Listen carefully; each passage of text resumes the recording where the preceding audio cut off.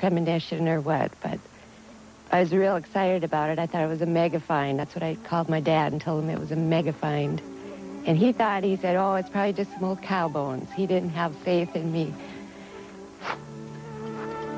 Jack Horner did, and Kathy Wankel's T-Rex has become the latest star exhibit at the Museum of the Rockies.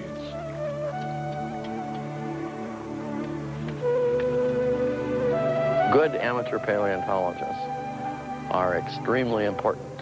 Uh, there are only a few of us paleontologists in Montana, and and the state is 600 miles long and 400 miles wide, and there are lots and lots of areas that have good fossils in them. So eyes out looking for us are what we need. In fact, in our museum, we have six or seven uh, big exhibits, and all of the specimens we have were found by amateurs. The important thing is that the amateur bring it to the museum rather than take it home and put it in his garage. How did you first get interested in dinosaur bones? Oh, I think it dates back to the uranium days when um, we were prospecting for uranium.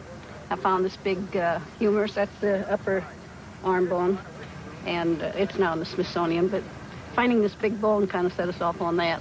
Uh, uh, I've been looking around this quarry, for instance, and it looks to me like bones look like rocks. I don't know how an amateur would ever tell one from a rock. Uh, bones do look like rocks, and, and you have to learn how to uh, distinguish a rock. A bone has cell structure, just like our bones in our body. You know, we have cell structure. Wood has grain. Um, so I look for that cell structure, and it's there if you look for it. You, and it's just like anything else. You learn to know what you're looking but for. But you can see that just with the naked eye as you walk across a bunch yes, of rock? Yes, after a while. Mm-hmm.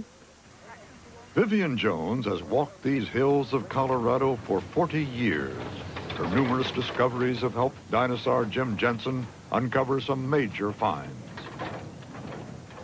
How did you discover this particular site?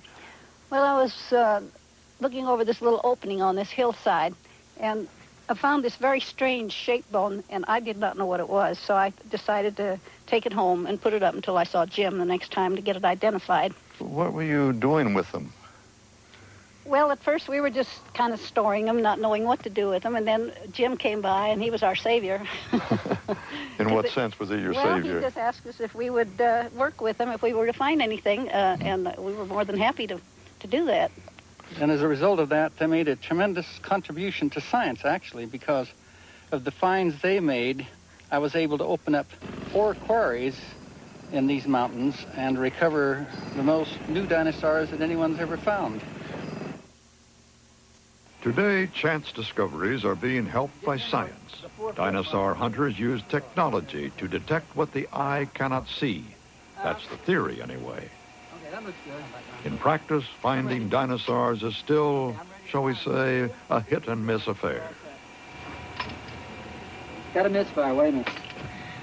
Roland, you know it's all your fault that we got involved in all this confusion. Uh, wait here. a minute. You led me on by saying paleontology was in the Dark Ages and we needed to do some real science. Well, that we were in the Dark Ages then, and I think we still are. Ready? I'm ready, arm it. Ready? Uh, seriously, this all began when I uh, gave a seminar at Los Alamos and challenged scientists like Roland and others here uh, into helping us conduct this excavation. The specific problem that I posed was, can we see the bones in the ground before we excavate them? And the reason I needed to know the answers was that we had 10 feet of rock to remove before we could get down to bone level if this skeleton were to continue into the hill the way we projected. Okay, Cliff, show us some bones here. What do you got? Time will tell whether high tech can reveal all about this particular dinosaur. It's called Seismosaurus, and it may turn out to be the biggest dinosaur ever. But that's not all. The bones found so far are in the same position they had in life, articulated. And that's a crucial lead for dinosaur detectives. Probably the most important feature about this skeleton is the fact that it's articulated. Uh, the reason we like to have articulated skeletons is that it allows us to know exact positions for each bone. And that's important in our, in our descriptions and analytical work. In this case, the articulation is also important because we have a series of stomach stones that were found in direct association with the bones, like the stones in this circle, which are the gastroliths that were used for grinding food. They represent the substitute for teeth. In the sauropod dinosaurs, the teeth were about the size of my finger. They couldn't grind food. Instead, all they could do was rake food off the vegetation. And there was no grinding mechanism at all in the jaws. The only capacity for processing food mechanically was with gastroliths, grinding in a grinding mill so that the food would be crushed and processed, readied for chemical digestion in the stomach. And it's a fair estimate to say that uh, they ate around a ton, or 2,000 pounds of food in a day. They processed that much plant material. Like any scientific investigation, there's always a wild card. The wild card in our study is the occurrence of this gastrolith, which is so much larger than elsewhere. We were astonished. This one weighs over two pounds, and it's five or six times larger than this one. One idea we have is that perhaps this was the one that caused the extinction of this individual when he choked to death. However that Seismosaurus died, giants like him survived generation after generation for 130 million years. But how did they manage to survive for so long? Um, in fact, all dinosaurs would fit in the same size range as our known range of living and fossil mammals. So the question really ought to be, why aren't more mammals dinosaur size? Because they certainly can get to be that big. Well, I think it's something to do with the difference in reproduction between mammals and dinosaurs. Large mammals, like elephants, only have one young every three or four years, whereas dinosaurs, we know, could lay you know, 20 eggs at, a go and may have bred more often. As the ice ages, the large mammals were the ones that went out, probably because when they had um, a bad winter or something, and many of them died, they couldn't rapidly rebuild their populations. Now, a dinosaur laying 20 eggs, sure, under most conditions, most of the young would die, but it would mean they had the capacity to rebuild populations quickly, which would be impossible for a mammal. Today, those dinosaur corpses have brought a not always welcome new enterprise.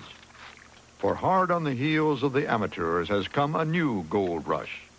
Professional dinosaur hunters like Peter Larson walk a thin line between making money out of dinosaur finds and scientific research. Well, there is a bit of a controversy about being able to actually sell dinosaur bones. Um, actually, this is the way, a way that I've found to be able to do what I want with my life. Those of us who work in this company have a real commitment to science it's, it's our thing. We, we not only supply specimens, dinosaurs, to museums who otherwise would not be able to afford to get them, or perhaps places like uh, Japan, which really has no dinosaur skeletons. The only way they can see a real dinosaur is to buy one. And uh, those the children who live in Japan have just as much right to see a dinosaur as the children who live here in the United States. And here we have an abundance of dinosaurs, and we can supply dinosaurs to those museums where they otherwise would not be able to have them. In the summer of 1990, Peter Larson came up with the find of his life. Well, this turns out to be the largest Tyrannosaurus that has ever been found. We kind of like to name our, our fossils when we find them to give them sort of a personality. It was found by Susan Hendrickson, so we came up with the name Sue. Sue is going to be the cornerstone of our museum, which we've been working on, in fact, which I've been dreaming of since I was a little kid and Sue will be mounted in Hill City, South Dakota in our new museum. Uh, although Larson didn't know it at the time, Sue may be a fitting name for this, the largest tyrannosaur ever. Its size probably meant that Sue was a female and more than able to stand her ground against a smaller male. She needed to be larger to nurture the eggs inside her. Such new information is grist to the mill for amateur dinosaur enthusiasts.